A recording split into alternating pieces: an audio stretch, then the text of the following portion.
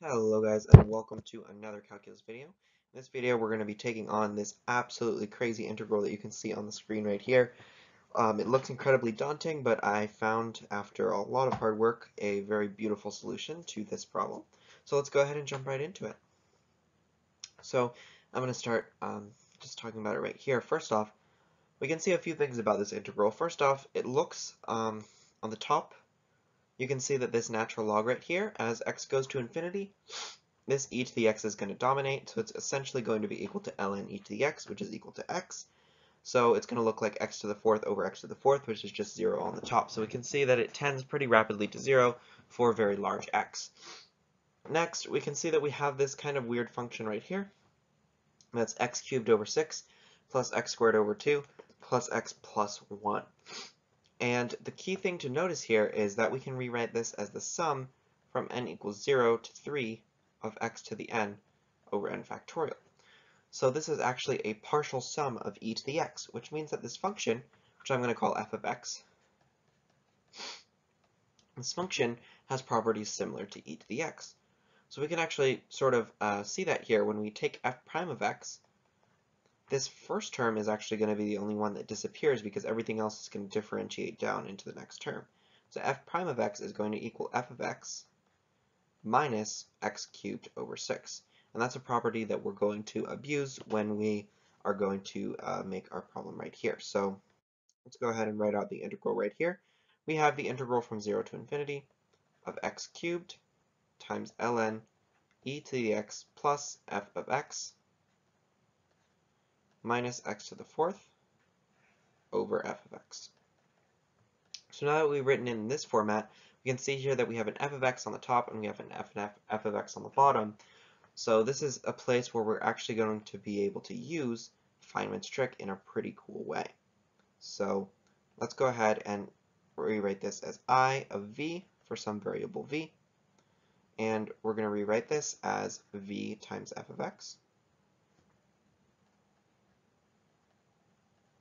Now, first off, notice that i of 1 is our original integral, which we're just going to call i, and i of 0 is equal to the integral from 0 to infinity of x cubed natural log of e to the x, which is just x, so it's going to be x to the fourth minus x to the fourth, and this whole integral is just going to go to 0.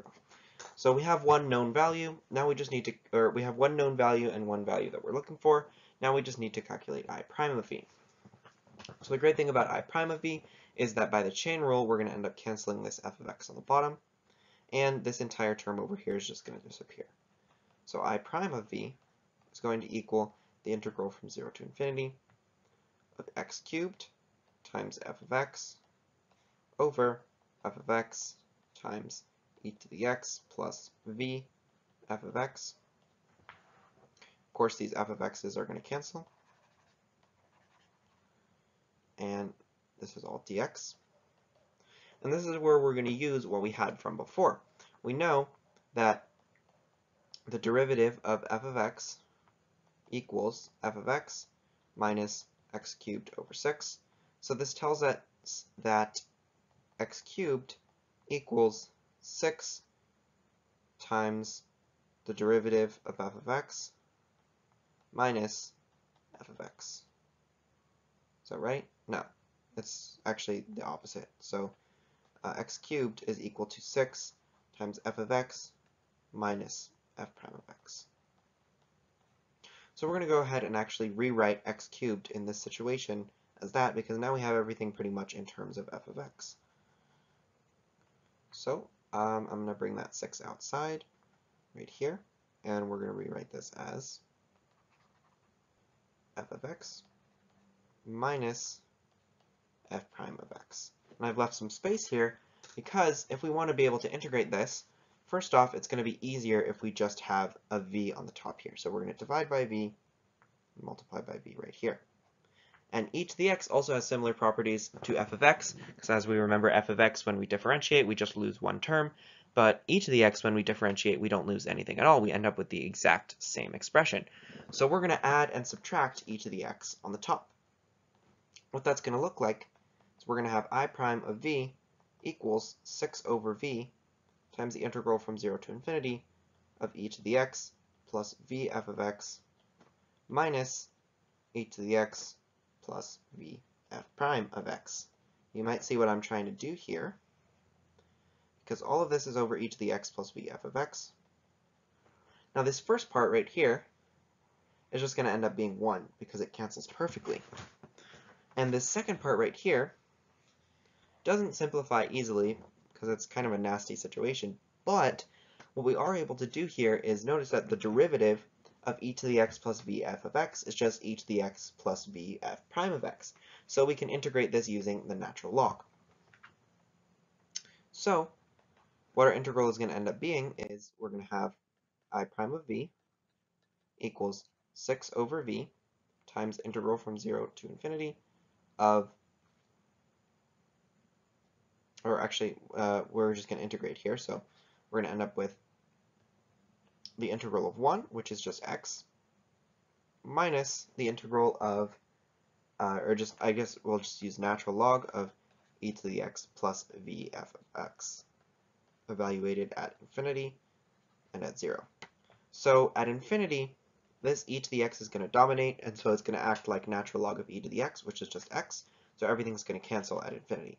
At 0, we're going to have 6 over v times negative, and then this is just going to be 0, and then minus natural log of e to the 0 is just 1, plus v times f of 0, right? Um, I kind of messed up the, I guess the negative sign should have been out here. So overall this is going to be positive. And remember that f of x was equal to x cubed over 6 plus x squared over 2 plus x plus 1. And so f of 0 is just 1. So overall, we're going to get 6 over v times natural log of 1 plus v. And now we just have to solve for i of v. And that's actually very, very difficult to solve for i of v directly. So we're just going to set up a definite integral. And we're going to solve integral from 0 to 1 of i prime of v, dv. And then integral from 0 to 1, 6 of ln 1 plus v over v dv. So we're going to get i of 1, which was our original integral, which we'll just write as i.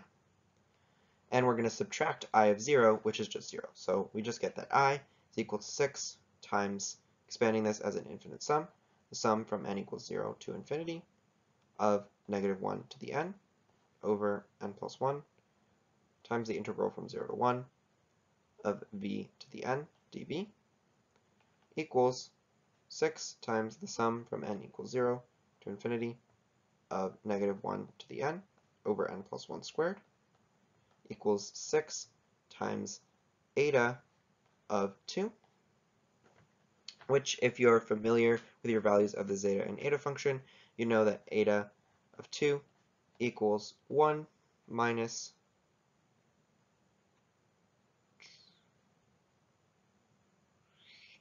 two to the negative 1 times uh, zeta of 2, where zeta of 2 is just pi squared over 6. So we're going to have 1 half times pi squared over 6 equals pi squared over 12. So our answer right here is just going to be pi squared over 2. So I hope you guys enjoyed this video with a cool integral. Uh, another integral destroyed by Feynman's trick. If you want to see more videos or you have um, suggestions for future videos, please throw them down in the comments. Um, if you watched the end, thank you very much, and I'll see you next time. Hope you enjoyed.